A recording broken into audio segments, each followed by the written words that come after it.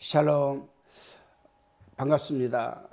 오늘도 우리들에게 24시간의 풍성한 어, 하루를 허락하신 하나님을 찬양합니다.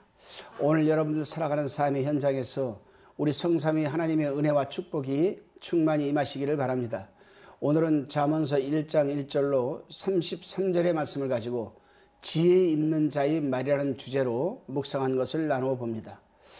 오늘부터 잠언 말씀을 묵상하고 나누는데 이 잠언이라는 말은 히브리어로 마샬이라고 합니다. 마샬.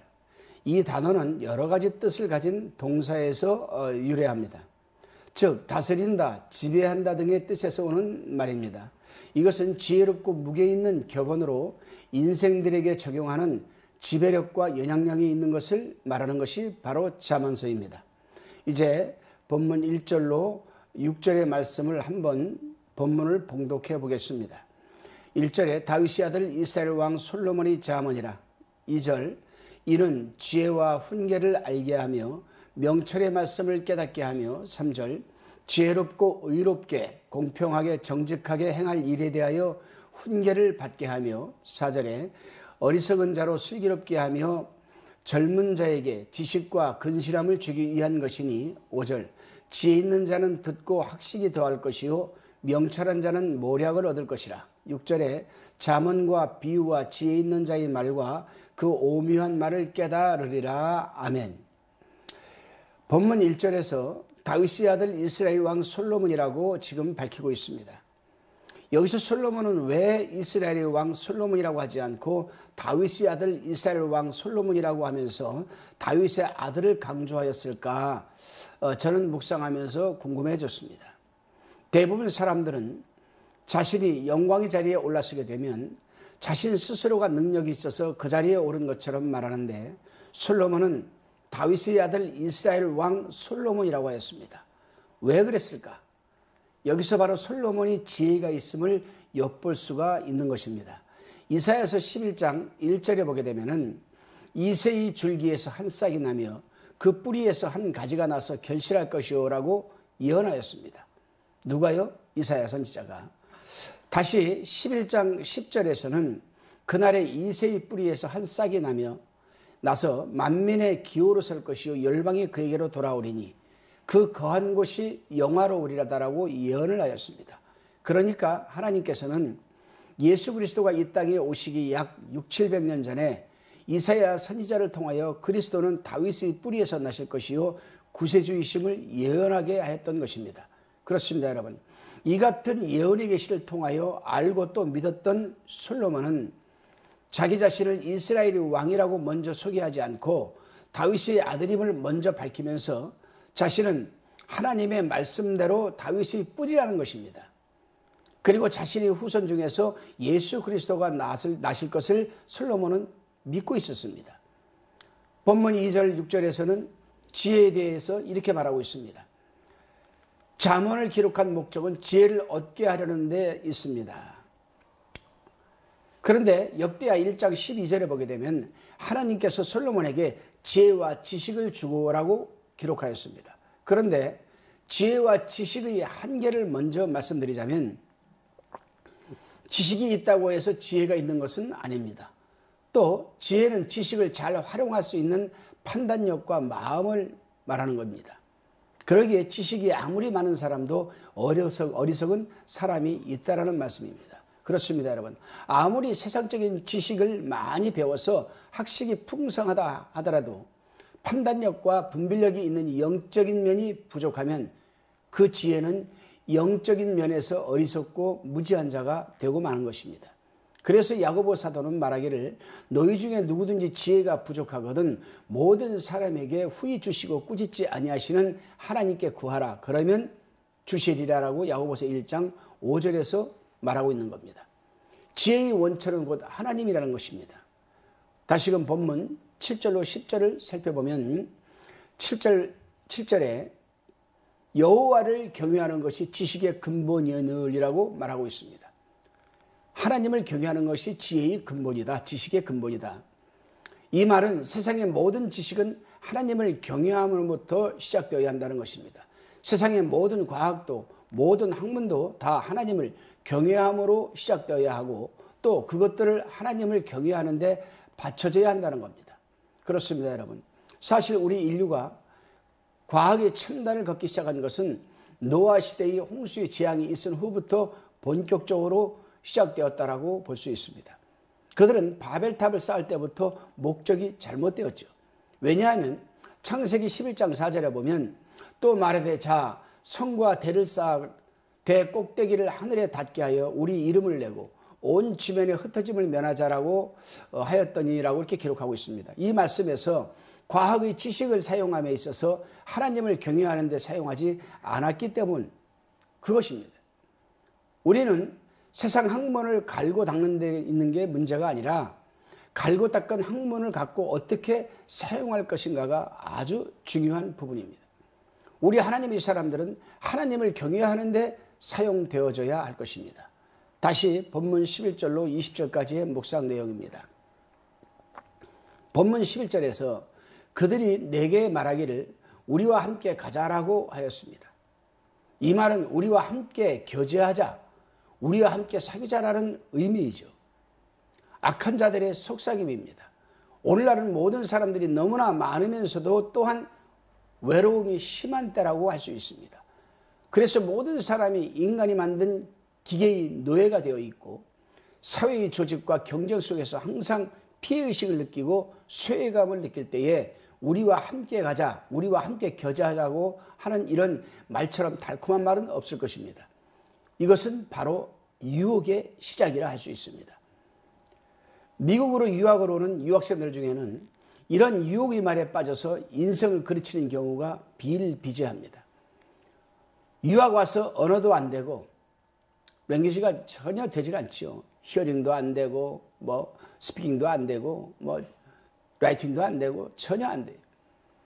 언어가 안 되니 학습이 안 되고 소통도 안 되니 답답하죠.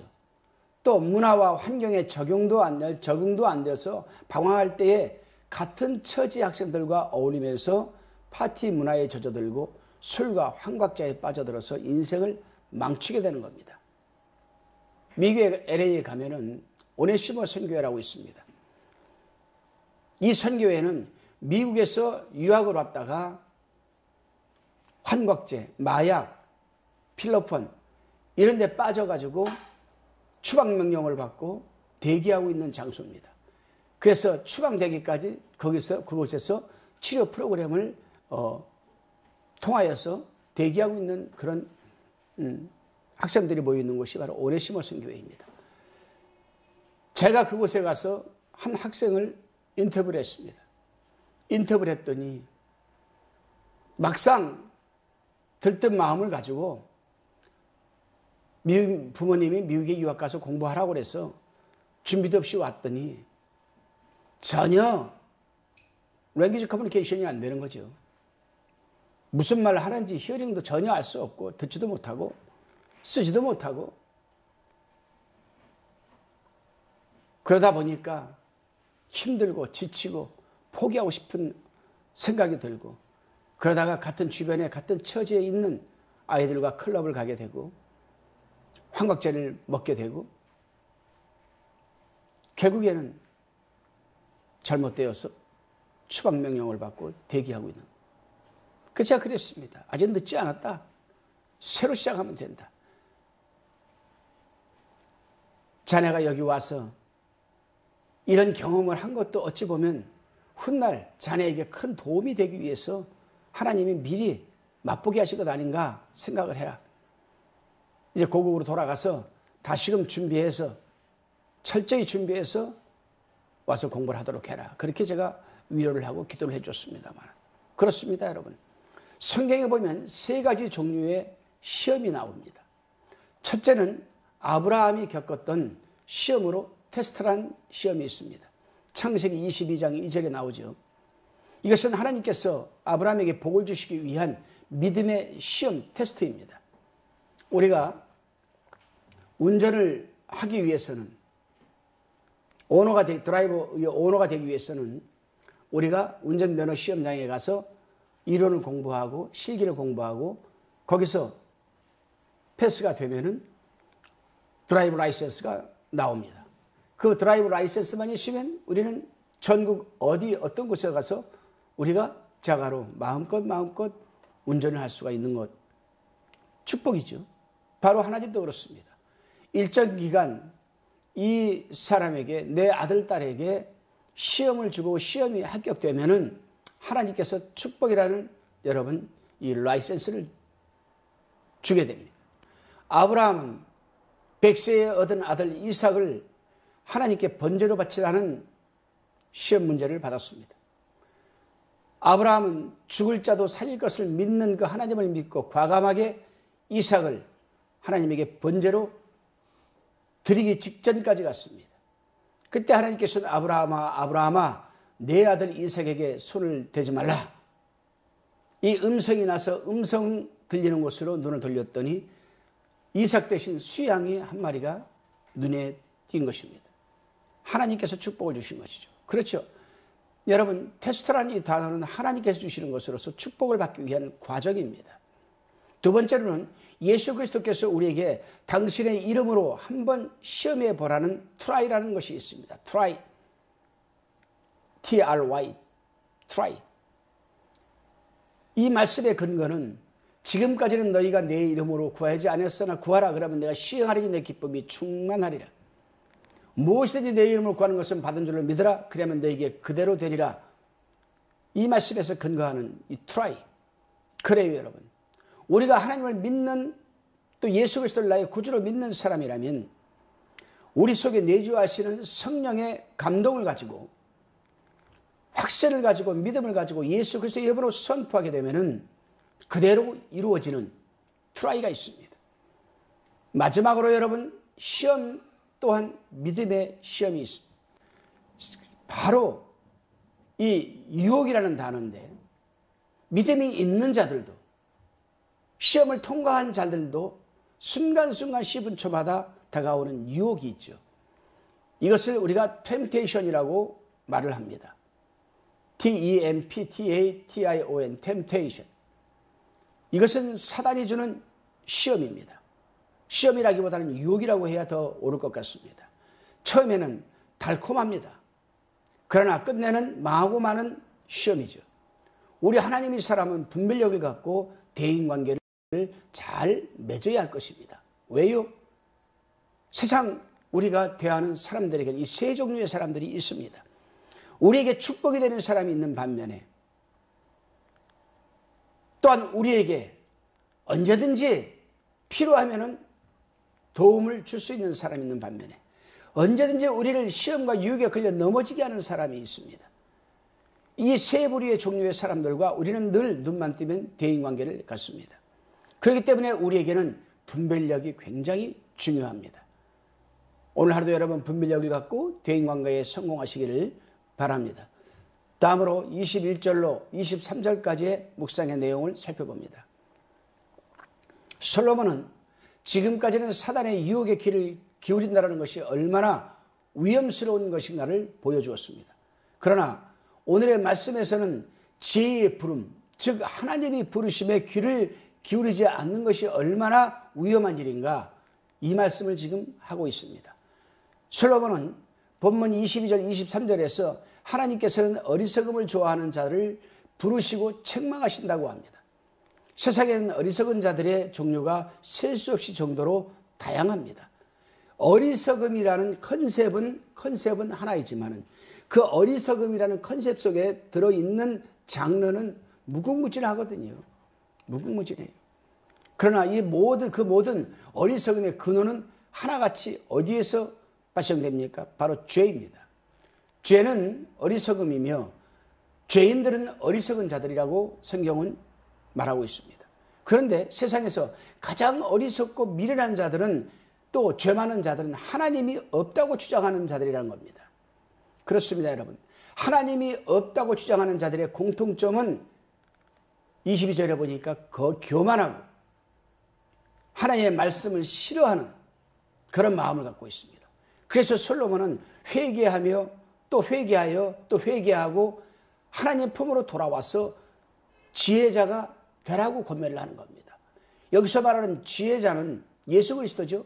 예수 그리스도를 지혜라고 합니다. 그 다시 말하면 회개하고 하나님 품으로 돌아와서 예수 그리스도를 영접하면 그 예수 그리스도의 영이 즉 성령이 그 순간 바로 우리 속에 들어와서 내주하기 시작하고 우리와 임마누엘 하나님으로 다시 같이 24시간 10분초마다 동행하게 되고 또 이분과 우리가 커뮤니케이션을 통해서 하나님 기뻐하는 커뮤니케이터를 되게 하는 거예요.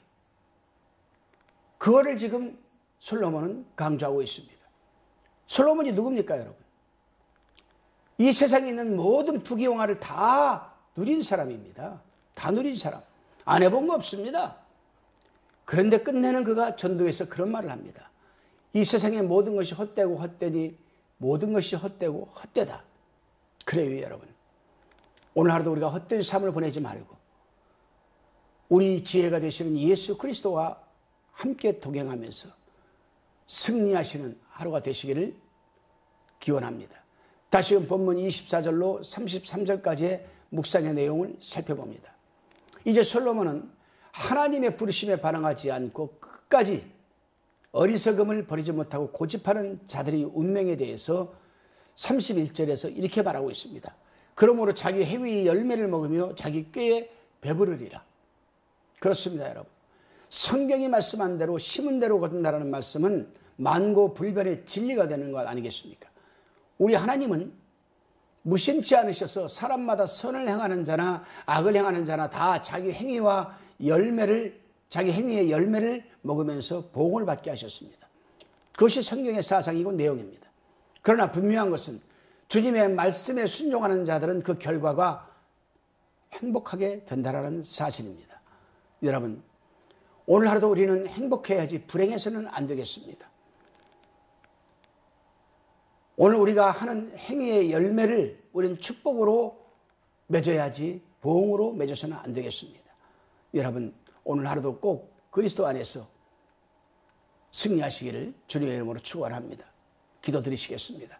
주님, 우리는 다 우매하고 무지하니 언제라도 죄의 유혹에 젖어든 본성이 있어오니 어리석음의 소리에 반응하지 말게 하시고 지혜자의 부르심에 반응하는 삶이 되게 하여 주옵소서. 감사드리옵고 우리 지혜가 되시는 예수 그리스도 이름으로 기도드리옵나이다. 아멘.